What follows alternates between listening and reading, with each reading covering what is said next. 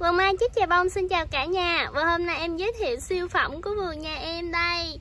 À, Đây là cây mai tự xoắn nha cả nhà. Đây nó rất là dễ thương nhưng mà hoa của nó rất là đẹp đây.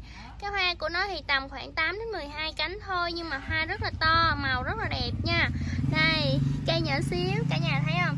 Đây là cái à, nó nó dài ra thì nó sổ á. Ừ, Cả nhà thấy nó ra hoa rất là đẹp luôn á.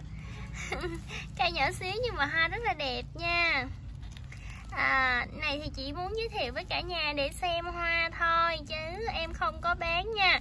Nhưng mà em cũng có um, cái loại giống như thế này nữa. Rất là đẹp nha cả nhà. Mọi người vào xem nha. Mời mọi người vào xem cây mai tự xoắn đây. Thì uh, có những có có khách thì um, cũng đã biết cây mai sắn lâu rồi nhưng mà cũng có thể là chưa có thấy hoa mặt hoa của nó. Thì em đang giới thiệu cái mặt hoa của nó là đẹp như thế này đây. Rồi cả nhà thấy không? Mai tự xoắn nha cả nhà. Đó.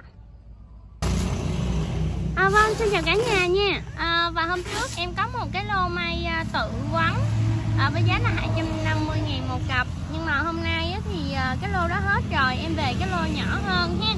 À, cái cây nó như thế này đây.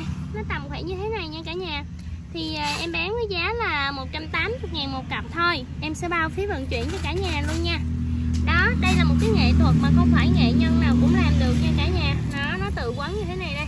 Đó, rất là đẹp nha. Nó cứ ra là nó lắng xoắn lắng xoắn như thế này đây. Rồi, đây, thì cây nó không có cao, không có bự lắm nha cả nhà, nhưng mà cái độ quấn nó nhìn rất là dễ thương luôn. Cái này về chúng ta cắt lấy bao được luôn rồi đó bán chỉ với giá là 180 ngàn một cặp thôi. Thì à, các cái à, rễ thì đều được xử lý rễ hết nha.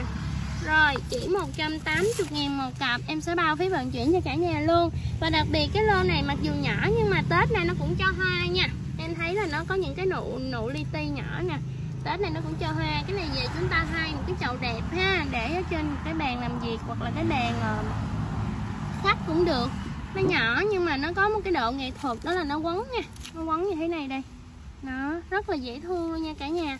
Rồi ai thích thì liên hệ bên vườn mai chất chè bông nha. À, chỉ 180 ngàn một cặp thôi em sẽ bao phí vận chuyển cho cả nhà luôn. Rồi mong được sự ủng hộ của cả nhà nha.